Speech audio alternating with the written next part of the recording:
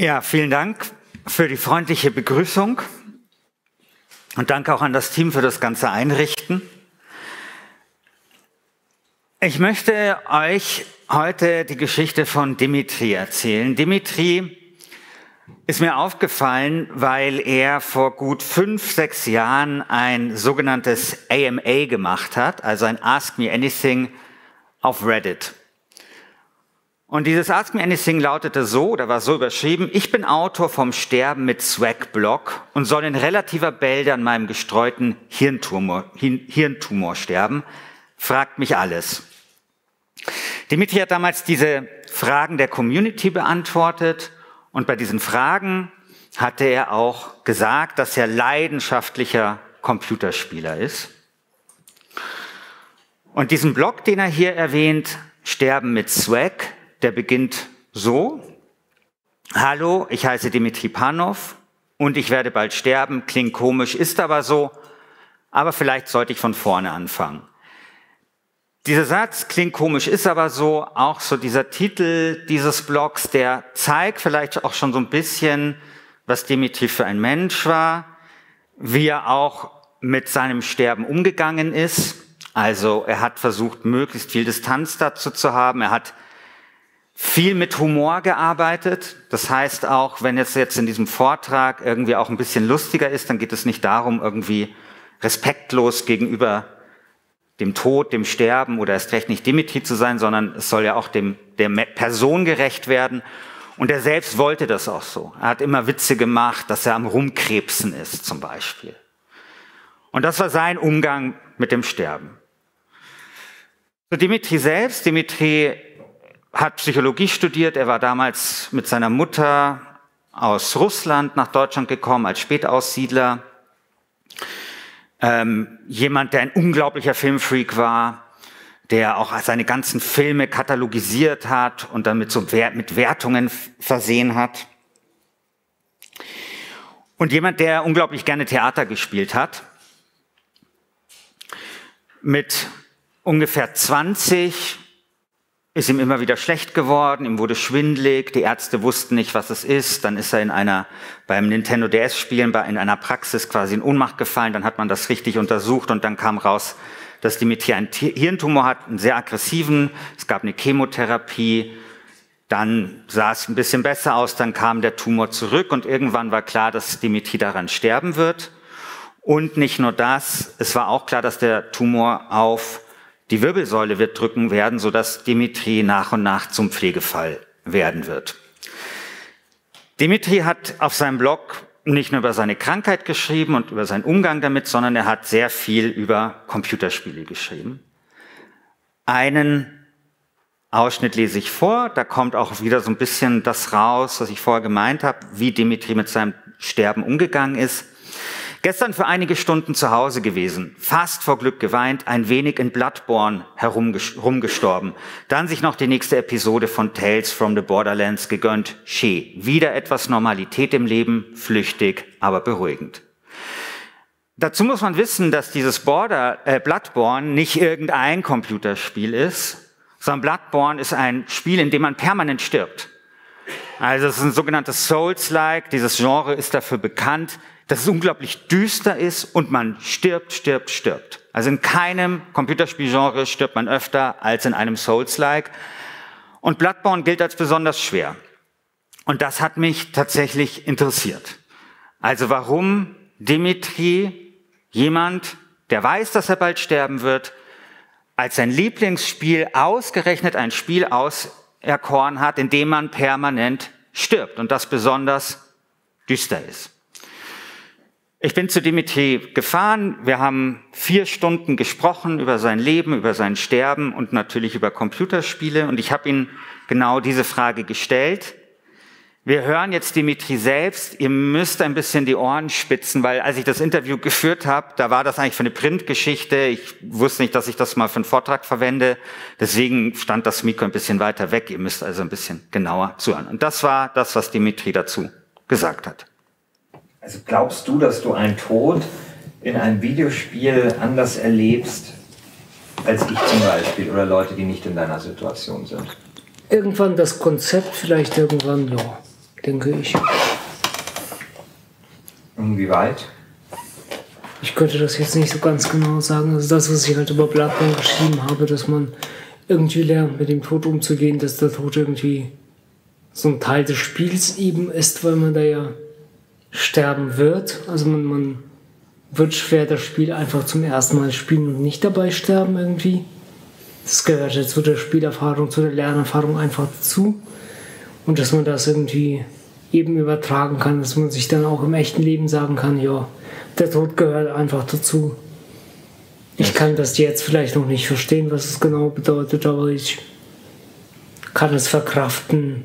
Also einfach diese Botschaft, dass ich bald sterben werde, damit, dass ich sagen kann, es muss geschehen. Also es ist einfach ein Teil von dem ganzen Konzept, was ich noch nicht durchschauen kann, aber was von dem ich ausgehen kann, dass es als Konzept irgendwie funktioniert und irgendwie Sinn macht. Ja, ich finde, das ist eine sehr gute Antwort auf eine ziemlich dumme Frage.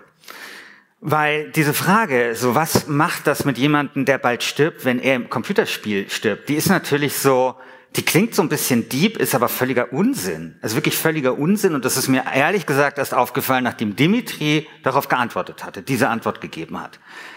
Weil wir sterben im Computerspiel andauernd. Der, der, der Tod im Computerspiel hat überhaupt gar keine Bedeutung. Und schon allein deswegen nicht, weil der Vortrag hier lautet ja Life Die Repeat, ist halt vermutlich, also kommt vielleicht auch auf die Religion an, an die man glaubt, aber vermutlich ist dieses Repeat im realen Sterben natürlich nicht gibt, im Computerspiel aber natürlich schon. Und deswegen hat das, das Sterben ist eigentlich nur sozusagen die Metapher dafür, dass ein Programm abgebrochen und neu gestartet wird, in letzter Konsequenz, also auf Informatikebene. Und deswegen machen sich auch alle lustig über das Sterben im Computerspiel. Es hat einfach überhaupt gar keine große Bedeutung. Wir sterben, sterben, sterben. Also hier GTA, ja. Ihr habt unzählige GIFs, wo Leute im Computerspiel sterben. Und dieser Tod ist eigentlich letztendlich so banal und nichtssagend, dass man im Computerspiel vor lauter Leichen den Tod gar nicht mehr sieht. Und wie doof eigentlich die Frage ist und überhaupt die Vorstellung, dass der, dass der, das Computerspiel jetzt ernsthaft oder dieser Tod im Computerspiel ernsthaft zu vergleichen sein könnte mit dem realen Tod oder uns ernsthaft was darüber sagen könnte, merkt man auch, was passiert, wenn man die Frage einfach alle anders stellt, wenn man nicht über das Sterben im Computerspiel redet, sondern über das Töten im Computerspiel. Da habe ich einen Ausschnitt mitgebracht. Schlimmes. Wie lernen Kinder töten? Spielerisch. An der Videokonsole, am Joystick, dieser Freudenstock mit eingebautem Tötungsknopf lässt Kinder zu virtuellen Massenmördern werden. Zurzeit entwickelt sich eine ganz neue Subkultur. Man trifft sich zu großen Partys, vernetzt seine Computer und tötet gemeinsam. Ja, man trägt sogar Meisterschaften aus im Morden per Mausklick. Felix ist der beste von ihnen. Er ist Zivildienstleistender.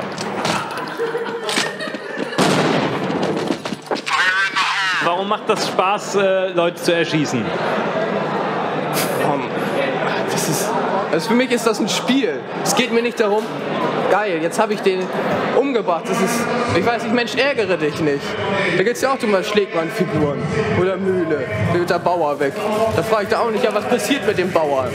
Ist er jetzt da, wie habe ich den da jetzt geschlagen? Habe ich den da niedergemetzelt oder so? Ein Spiel ist ja, also ihr lacht natürlich alle, ja, aber letztendlich ist das nicht so weit entfernt von der Frage, die ich Dimitri gestellt habe, ja. Also bei dem einen ist die Vorstellung, äh, Computerspiele, das ist jetzt töten, und ich frage halt Dimitri, wie ist das mit dem Sterben im Computerspiel? Äh, das Sterben im Computerspiel hat genauso wenig eine Bedeutung, ja.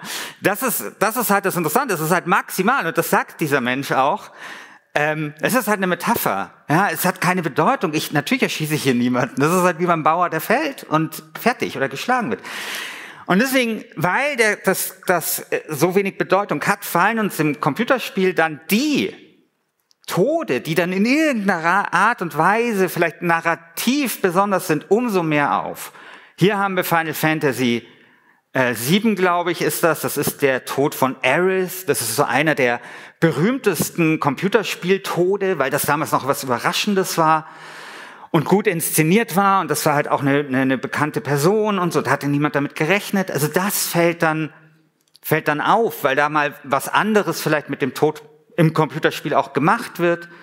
Dann hier Darkest Dungeon, eines der Spiele, das mit sogenannten Permadeath arbeitet. Das heißt, wenn die Figur tot ist, ist sie wirklich, also kann man sie nicht mehr so einfach wiederherstellen.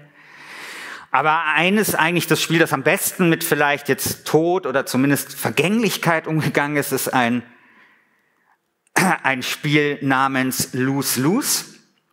Und zwar ist das hier unten ein kleines Raumschiff. Oben hat man halt so Monster, die man erschießt. Das Ding ist, diese Monster entsprechen Dateien auf der eigenen Festplatte. Das heißt, wenn man so eine zufälligen Dateien und wenn man die abschießt, dann sind die für immer gelöscht. Also das ist, das ist, das ist tatsächlich ein Spiel, das mal anders mit diesem Thema Vergänglichkeit umgeht. Ganz bekannt ist dieses ganz bekannte Spiel, dessen Namen ich jetzt leider in der Aufführung vergessen habe. Undertale, danke. Das da so damit umgeht, dass man wie in jedem Computerspiel durch diese Welt geht, irgendwelche Monster erschießt, erlegt, tötet, wie auch immer und dann irgendwann wieder durch diese Welt geht und dann eigentlich niemand mehr da ist. Ja? Also wo man dann eben auch mit diesen Folgen konfrontiert wird. Aber ansonsten, wie gesagt, Tod ist Banalität. In der Regel bekämpfen wir den Tod in Form von unzähligen Untoten, ja? Zombies. Oder, was natürlich auch passiert, ist, dass es ähm, uns dann auffällt, wenn es nämlich überhaupt nicht funktioniert, weil nämlich zum Beispiel die Game Designer dem Tod irgendeine eine, äh, eine Bedeutung geben wollen, aber die Spielmechanik des Computerspiels eben im Tod nichts mehr erkennt als eben nichts, so, ja, also als eigentlich nur eine Wiederholung eines Programmablaufes. Bekanntes Beispiel, Tomb Raider, äh, Lara Croft, das war das Remake. Man wollte Lara Croft mit mehr Tiefe ausstatten und ihr ein bisschen, sie ein bisschen düsterer machen und interessanter. Und dann hat man sich überlegt, okay, wir machen eine, eine Szene, wo Lara Croft am Anfang ein Reh oder ein Hirsch erlegt. Und dann zeigt man Lara Croft, wie sie an diesen Rädern kniet und um dieses Reh oder um diesen Hirschen weint. Und so und jetzt sagt aber das Computerspiel zugleich auf der mechanischen Ebene, dass der Tod oder das Töten überhaupt gar keine Bedeutung hat. Das heißt, in eine, eine halbe Stunde später mordet und tötet sich Lara Croft halt durch dieses Computerspiel und tötet irgendwie minutenlang Menschen. Ja, da sieht man, das eine passt nicht zu dem anderen. Und jetzt ist natürlich die Frage, haben also jetzt habe ich hier eine Viertelstunde irgendwie geredet und habe im Prinzip nur gesagt, dass das, was ich jetzt hier vortrage, überhaupt gar keinen Sinn ergibt. Und jetzt ist ja so ein bisschen die Frage, gibt es nicht vielleicht doch etwas, was man über den Tod und das Computerspiel sagen kann? Hat der Tod im Computerspiel nicht vielleicht doch eine Bedeutung? Und er hat zwei Bedeutungen, würde ich sagen, die relevant sind. Die eine hören wir jetzt von Dimitri. Helfen äh, Videospiele in deiner Situation, glaubst du? Teilweise, wenn man, also teilweise haben die geholfen. Jetzt von meiner letzten OP, als ich große Schmerzen hatte, hat mich das teilweise ganz gut abgelenkt, einfach Bloodborne zu spielen. Ansonsten, ja, wenn man sich so ein bisschen reindenkt, wie ich das beim Blockschreiben manchmal mache, kann man da gewisse Parallelen erkennen, die irgendwie das Ganze ja, ich sag jetzt mal, interpretierbarer machen, irgendwie Wie, äh, verständlicher machen. Inwiefern? Ja, dass man irgendwelche Inhalte oder Erfahrungen aus Videospielen irgendwie darauf beziehen kann, wie man halt Erfahrungen eben mit dem Krebs macht, mit der Krankheit, mit den Schmerzen und sowas. Hast du da ein Beispiel? Ja, eben, dass man sich nicht runterkriegen lässt, wenn man irgendwie mal ein richtig heftiges Tief hat eben ver ver ver vergleichbar mit vielleicht einem besonders schweren Boss in Bloodborne oder einem besonders schweren Rätsel in The Witness oder so.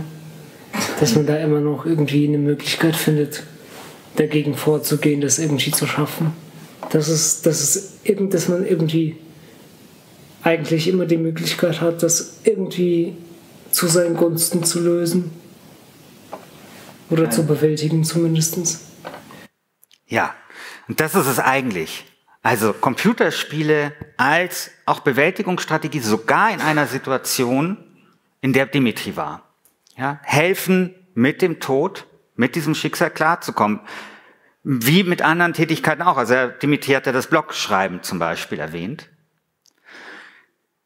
Es gab ein Spiel, Dead Dragon Cancer hieß das, das ist sogar erschienen, äh, als Dimitri noch gelebt hat. Ähm, und er hat das auch gespielt, fand das super. Äh, da hat eine Familie den Krebstod des eigenen Kindes im Computerspiel verarbeitet. Also das, glaube ich, ist so das Eigentliche, dass nämlich Computerspiele über den Tod nichts zu sagen haben, aber über das Leben halt schon und über das Leben mit dem Tod und mit dem Umgang mit dem Tod. Und die zweite Sache, würde ich sagen, hat mit dem Weiterleben zu tun. Hier sehen wir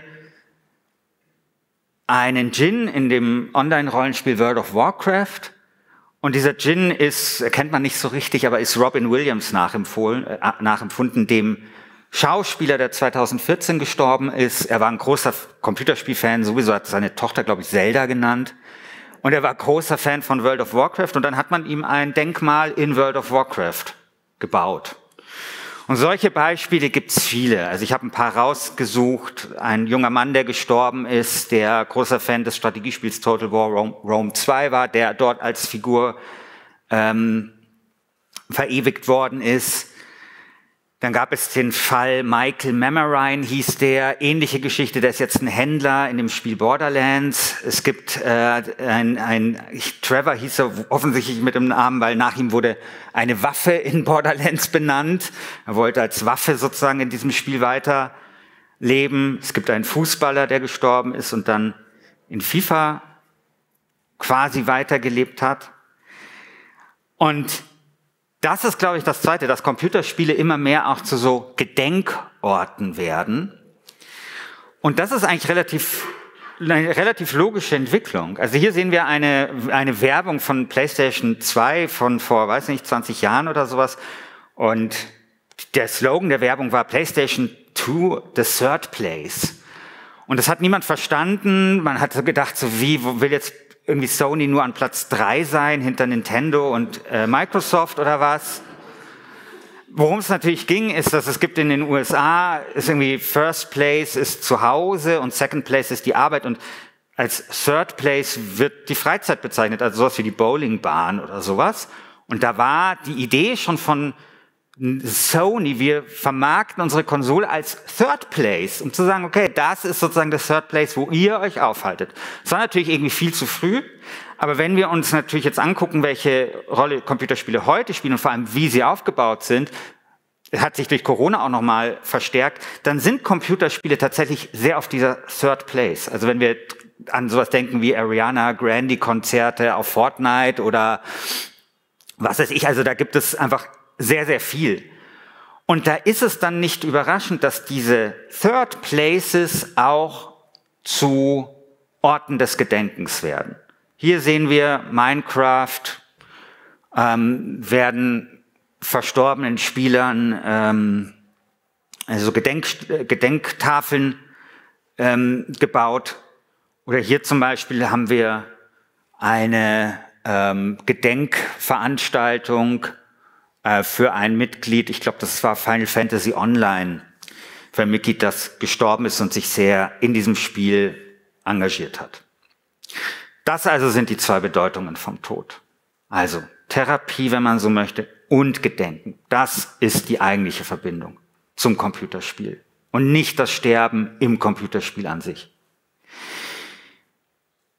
Dimitri ist ähm, kurz nachdem ich ihn äh, besucht habe gestorben ähm, mit 25 Jahren. Es war damals so, dass er ähm, seiner, ähm, also die seiner Mitbewohnerin, die auch so das Testament verwaltet hat, hat er den Auftrag gegeben, eine Nachricht zu hinterlassen auf seinem Blog und auf Facebook. Und das war dann die große Frage, was Dimitri eigentlich zu sagen hat, sein, seiner Familie, seinen Freunden. Und am Tag, äh, als er verstorben ist, ist diese Nachricht erschienen und die lese ich jetzt mal vor. Lebt wohl, meine Freunde, war schön mit euch, leb wohl, Welt, du warst die tollste, in der ich hätte sein können. leb wohl Welt, le äh, leb wohl Leben, ich hätte kein besseres haben können. Und Dimitri hat ein kurzes Leben, aber das war seine letzte Botschaft und ich glaube, das Beste, was man vielleicht über Computerspiele sagen kann, ist, dass sie einen Beitrag dazu geleistet haben, dass Dimitri zwar ein kurzes Leben hatte, aber eins, über das er gesagt hat, dass es besser nicht hätte sein können. Vielen Dank für die Aufmerksamkeit und ja.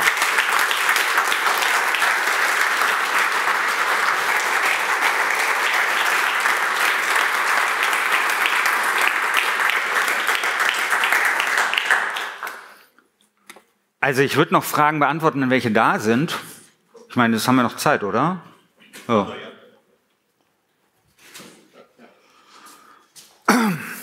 Hi, weniger eine Frage, mehr ein, mehr ein Feedback. Ich habe was komplett anderes erwartet. Ich bin dir aber sehr, sehr dankbar für diesen Vortrag, auch die Art und Weise, wie du das verknüpft hast, was du für Themen angesprochen hast, äh, hat mich sehr berührt. Ich danke dir dafür. Sehr gerne.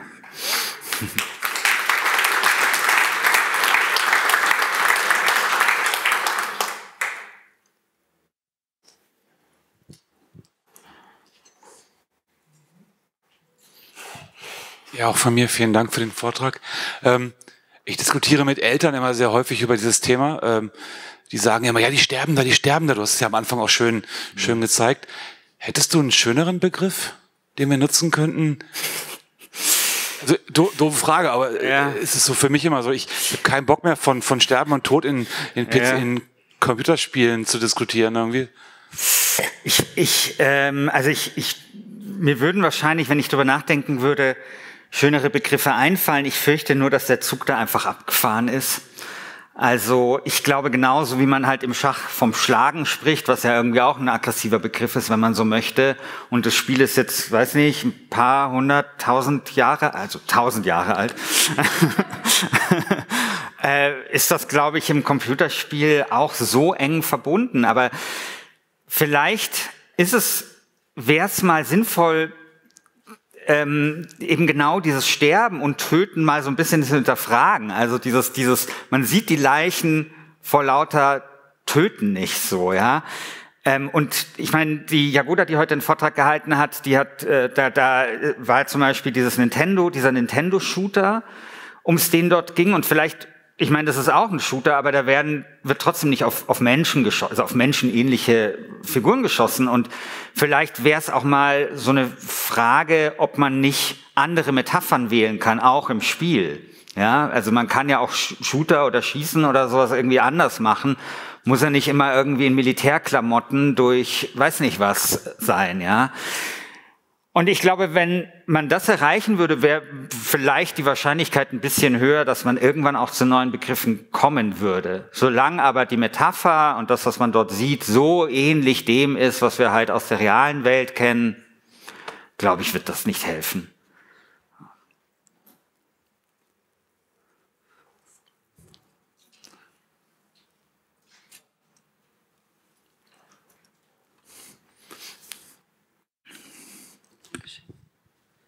Herzlichen Dank für den Vortrag. Ich hatte großen Spaß dabei zuzuhören. Ähm, eine kurze Anekdote. Es gibt ein Computerspiel, das heißt What Remains of Edith Finch. Mhm. Ähm, ja. Und in dem geht es, für die Leute, die es nicht kennen, um eine junge Person, die zurück in ihr Elternhaus kommt und quasi auf den Lebensgeschichten der vorher gestorbenen Person unterwegs ist. Dieses Spiel löst sich auf, indem man feststellt, dass die Hauptperson dort auch gestorben ist. Ich kenne Leute, die das mittlerweile im seelsorgerlichen Kontext einsetzen, für Menschen, die wissen, dass sie bald sterben werden.